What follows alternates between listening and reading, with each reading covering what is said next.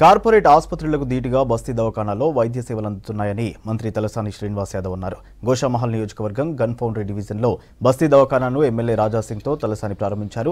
వేల రూపాయల విలువైన హెల్త్ టెస్టులను బస్తీ దవాఖానాలో ఫ్రీగా అందిస్తున్నామన్నారు తలసాని.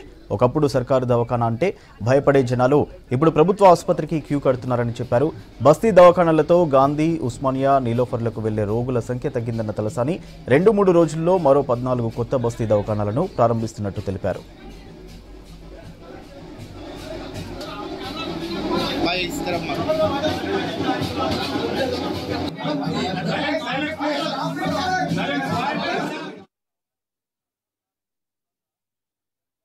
గౌరవ ముఖ్యమంత్రి గారు బస్తీ దవాఖానా అనేటువంటి ఒక కాన్సెప్ట్ అంటే పేద మధ్యతరగతి కుటుంబాలు ఏంటంటే ప్రతి చిన్న విషయాన్ని కూడా హాస్పిటల్లోకి వెళ్ళడం లేకపోతే ప్రైవేట్ డాక్టర్స్ దగ్గరికి వెళ్ళడం వాళ్ళకి ఏంటంటే ఇదంతా డబ్బుతో కూడుకున్నటువంటి పని.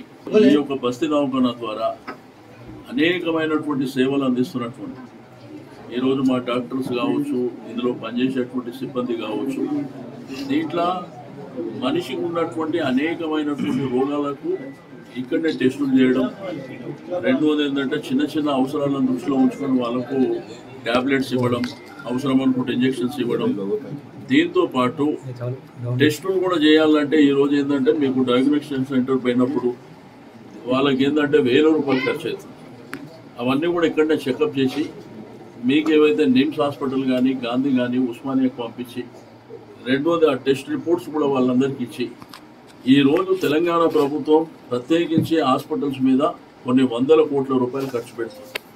ఎందుకంటే ప్రజల ఆరోగ్యమే ముఖ్యం అనేది ముఖ్యమంత్రి గారి ఆశయం అందుకే మీరు చూస్తే సిటీ స్కాన్ కానివ్వండి ఆక్సిజన్ కానివ్వండి క్యాథ్లాబ్ కానివ్వండి నీకు అన్ని కార్పొరేట్ హాస్పిటళ్ళకు ధీటుగా మన గవర్నమెంట్ హాస్పిటల్స్ వచ్చాయి.